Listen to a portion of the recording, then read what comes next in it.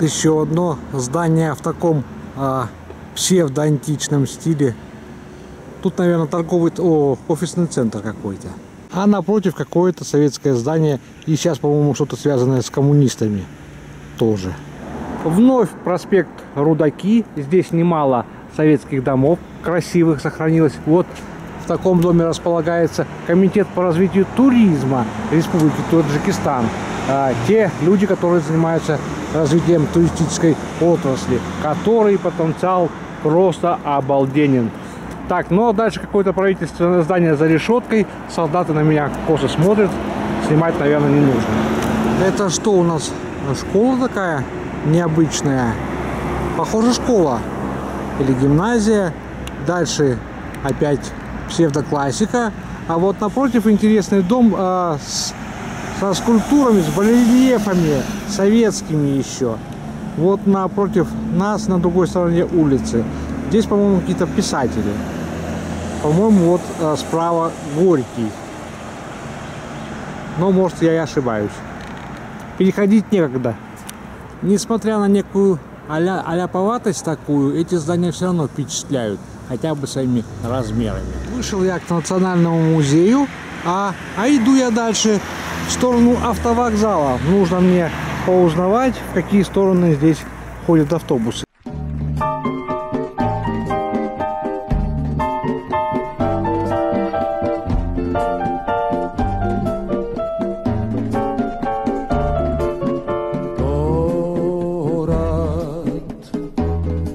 слышна песня соловья.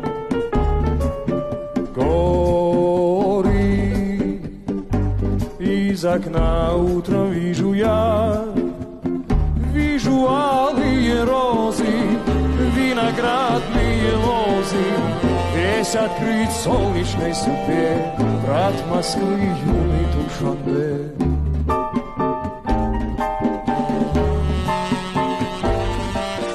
Пройду через парк молодежный, посмотрю, как здесь все обустроено. По-моему, красиво. Сейчас ранний час, и, в общем-то, посетителей здесь немного. Вот я, да волк с зайцем, да еще пара человек и люди, отвечающие за порядок. Ну вот я вижу, что здесь очень чисто. А, вот стоит а, мотоцикл дворника. Посреди парка великолепное озеро, на котором тоже можно взять на прокат катамаран, лодочки и покататься вечерком после работы. Или выходной день. К вечеру здесь будет много народу, я думаю. По трансляции звучит такая патриотическая музыка. Ну, видимо, это э, в стиле здешней политики и здешнего понимания того, что должно звучать в парках.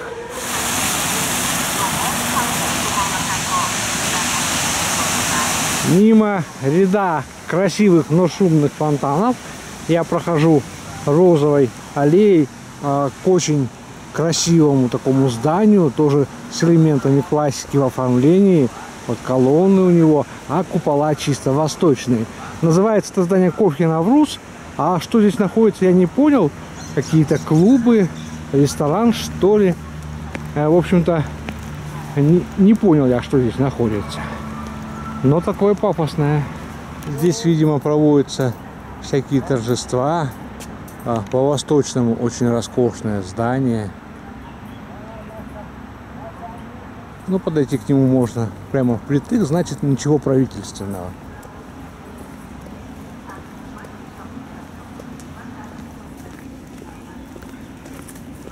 Здесь еще предполагается фонтан, но сейчас он не включен. А здание очень такое впечатлительное. Две беседки вот эти. А там есть возле потолка портреты каких-то людей, почитаемых, по всей видимости.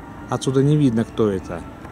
Поднимусь в одну вот из этих ротонд, что ли, как правильно назвать, и рассмотрю подробно роспись на потолке.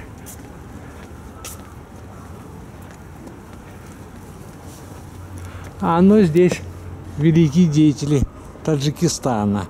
Вот Худжанди я вижу.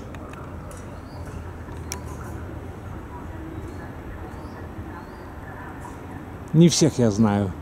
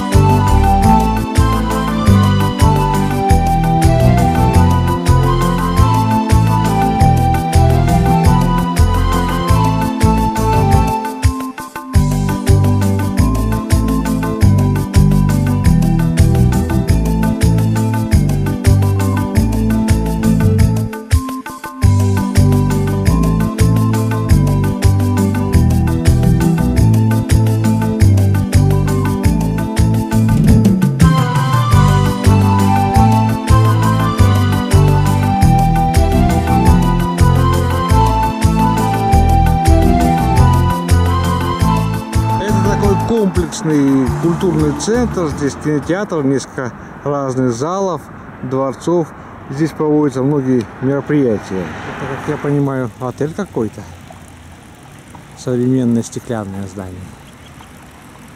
Вот рыбак здесь есть. Рыбка плещется. Вот можно ее видеть в воде. Не знаю, камера, наверное, не видит, а я вижу. Рыбка здесь есть. Вот. Вот какое-то странное сооружение. Если я подойду к нему а спереди, может быть, узнаю, что это такое за бункер.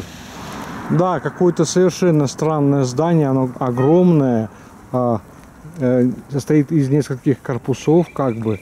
По всей видимости, сейчас здесь ничего нет. По-моему, оно а, замороженное стоит. Похоже на какую-то атомную электростанцию, и на, не знаю, дом культуры советский такой вычурный, и может быть на автовокзал, а и на музей. Сейчас я вот с той стороны подойду, может быть там открыто. Сдается мне, что это какой-то музей. Хотя вид у него совсем не музейный.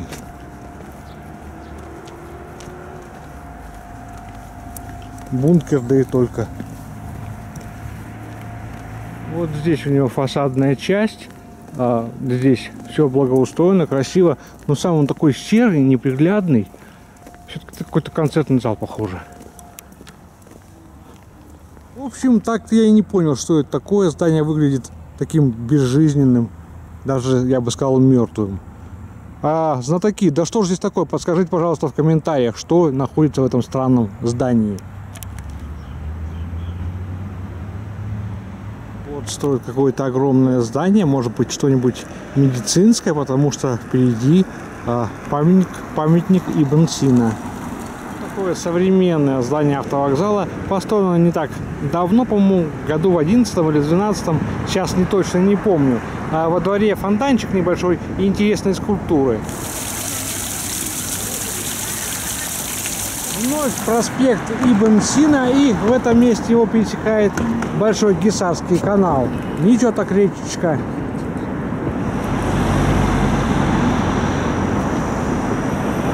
Новые дома по правую и по левую сторону. Проспект Ибн Сина почти уже полностью перестроен. Хотя то тут, то там выглядывают артефакты советской поры. Я уже отмечал, что железная дорога в Душанбе проходит прямо по городу, ничем она не огорожена. Но, впрочем, движение на ней не такое уж и интенсивное. Трамваи гораздо чаще в городах ездят, чем здесь поезда, поэтому, может быть, и большой опасности она не представляет. Вот что не устает меня радовать Душанбе. Вот улица а, Абдуло Галумова. В общем-то, улица такая не центральная, и дома здесь не блещут архитектурным изяществом. Ну, какие чудесные деревья, какую дают они замечательную тень. Здесь жители тоже, кто во что гораздо, делают пристройки к своим балконам, к своим квартирам, или вот так вот загораживают небольшие участки возле первых этажей. Но здесь вот разбит практически сад с яблоками и другими фруктами. Груша растет. Проспект Ширози или Ширози, не знаю, как правильно, это улица, на которой я еще не был. Хотя вот там я вижу вдалеке цирк, возле которого-то я как раз и был. Но вот по этому участку еще не ходил, сейчас прогуляюсь.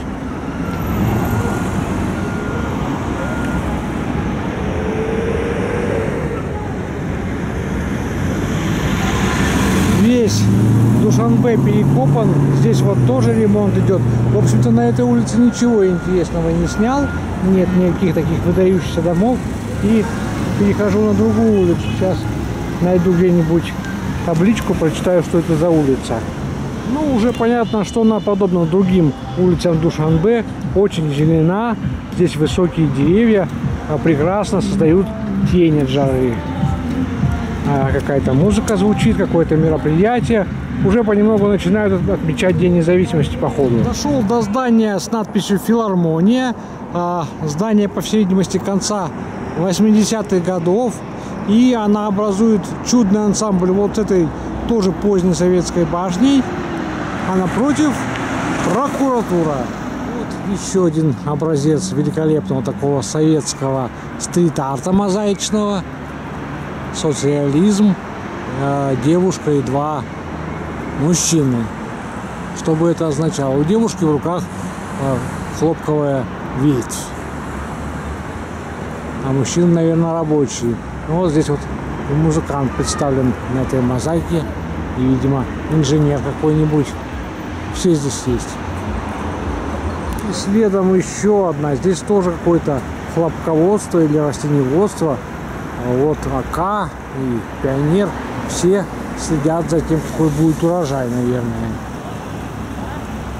Очень красивые мозаики. Советская мозаика, советские киоски и советский автопром здесь тоже еще сохранился. Вот в таком вот симпатичном виде.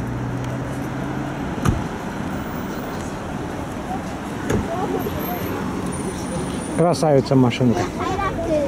Душанбе иной раз так это немножко прикалываешься контрастом.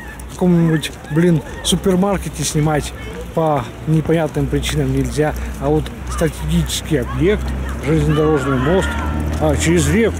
По нему можно не только ходить, но и снимать хоть справа налево, хоть слева направо. Никто тебе слова не скажет.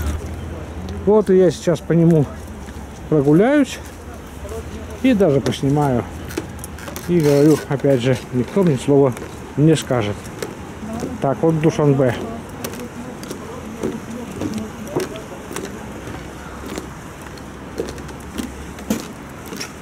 Отсюда видно флаг, герб,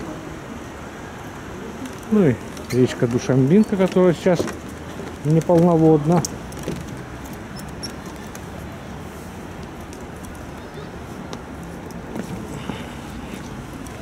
Прогуливаемся по мостику. Еще второй мост через железнодорожную, ой, через простую автомобильную дорогу.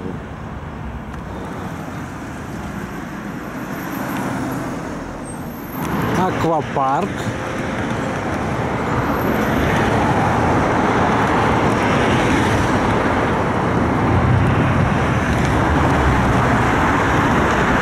Ну а я направляюсь к Исмаилитскому центру. Что это такое, я вкратце немножечко чуть попозже расскажу.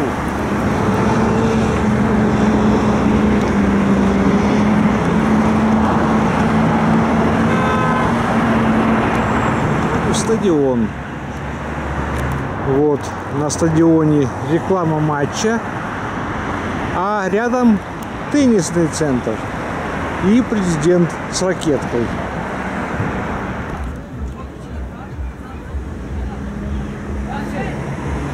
Если, конечно, я туда еще попа- попаду. Пока что вот а, прохожу мимо многочисленных решеток. Где вход? Где-то должен быть. Исмаилитский центр, оказывается, а, пускает к себе только по воскресеньям. А, Сейчас не воскресенье, поэтому я ни в него не попал. Но я иду дальше к большой Душанбинской мечети, еще не застроенной, но обещающей быть самой большой в Азии. И по дороге снимаю красивые интересные места. Вот зашел небольшой а, парк или сквер, молодой сад, молодой лесок здесь. А, причем большая часть этого лесочка высаженного это березки. Вот они, обычные березки. Со временем здесь будет очень зелено, тенисто. И фонтанчик, и какой-то, какой-то, какой-то вот такое здание интересное. Может кафе здесь или что-то, в общем-то, не очень важно. Просто пройду мимо и пойду дальше. Всюду тут розарии, цветут розы в изобильном, большом количестве. И вот такие беседки устроены, в которых можно в теньке посидеть, отдохнуть. А роз великое множество. Вот все дорожки усажены розами. Вот центральный вход в этот парк. Кто читает по-таджикски, легко прочитает, что здесь написано. Я, к сожалению, по-таджикски не читаю, поэтому могу только показать а, на видео, что здесь находится, без таких подробных комментариев. А здесь центральная аллея, раскрытая книга и в конце тоже беседочка. на книге, в книге высказывания президента. Ну а я хочу отметить, что здесь очень красивый ландшафтный дизайн со множеством цветов. Ай. И все аккуратно, полный порядок. Хотя парк еще не до конца доделан, видно, что ведутся работы. А, вот даже идет трансляция по-русски, что здесь находится в этом ботаническом саду. Это все-таки ботанический сад, по всей видимости. Сейчас послушаем, что нам говорят.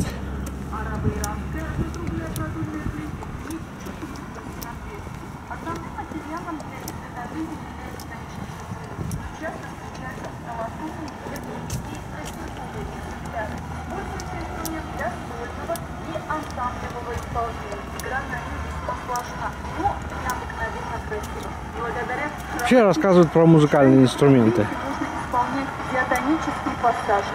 Галистану взлетела в его диапазоне и даже имитировать некоторые. Разумеется, что такой инструмент во все времена привлекал внимание композиторов.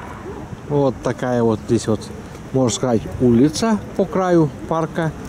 А за живой оградой течет река, но не Волга.